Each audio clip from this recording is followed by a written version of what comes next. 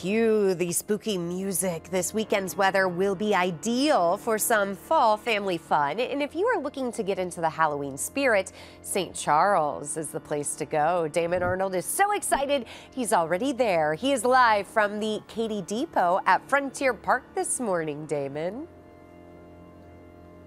Yes, legends and lanterns. I wish I could tell you how mesmerized and like I'm I'm learning about so many things right now. Ryan Cooper is the producer of this festival. Can you tell us Legends and Lanterns? Oh, absolutely. So we like to call it a spirited journey through Halloween history. Just felt a bit of a chill there. It does.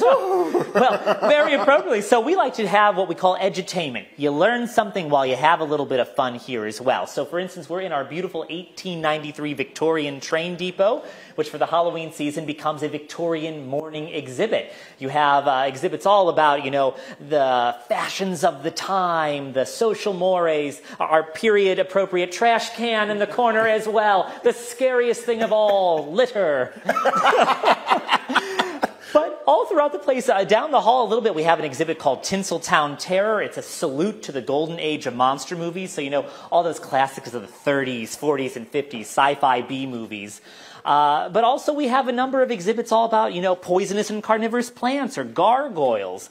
We have our characters, of course. We have the Brothers Grimm over here. They have a wonderful area called Writer's Block where they hang out with Mary Shelley, who wrote Frankenstein, and Edgar Allan Poe. And they do a hilarious 15 minute show that takes you through 200 years of horror literature in 15 minutes. So lots of really great exhibits and, and characters to meet and fun to be had, all for free. Yes, and I, I, I wish I could paint the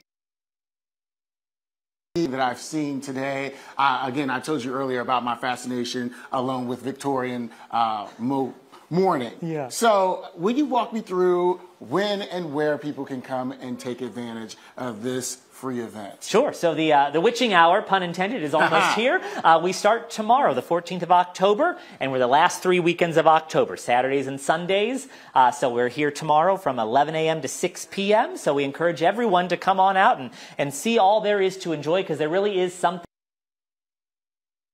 Like this is an all-inclusive event. Also, tell me, uh, what's the response been in the past? I mean, some of these are kind of scary, but some of them are really friendly. And so, what's Yes. the, the array you get there? Yes, you know, we're mysterious, we're macabre, but there is a lot of humor with this event. I mean, just looking around, look, you can have sushi with the pirates. Yes. Uh, Octopus, always my favorite time. delicacy. Uh, but no, one of our things is that we really want to make sure that this is an event that whether you're four years old or 104 years old, you're going to be able to enjoy and have fun together. So if you like history, we've got history. If you like whimsy, we've got plenty of whimsy to be had. So we're very proud of the fact that no matter what your background is, where you come from, there's a home for you here at Legends and Lanterns. Ryan, you've been amazing. Well, there you have it. Get out here because I'm going to be out here. I'm actually going to take a tour right after I cut this camera off so that I can leave immersed in the spirit of Halloween.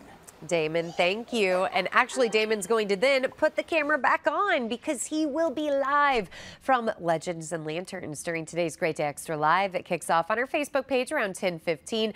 Join us, join Damon, join the crew out there. As always, GDXL brought to you by the Bomarito Automotive Group.